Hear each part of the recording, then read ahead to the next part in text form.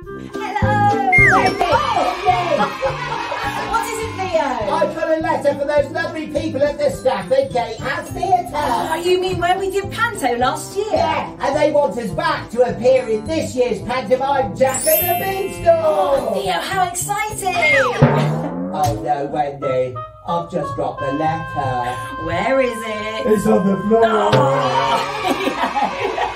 We hope you'll come back and see us again this year in the fabulous family pantomime Jack and the Beanstalk. Yeah, at the Gatehouse Theatre from Friday the 6th of December until Sunday the 5th of January. Get booking those tickets and we'll see you there.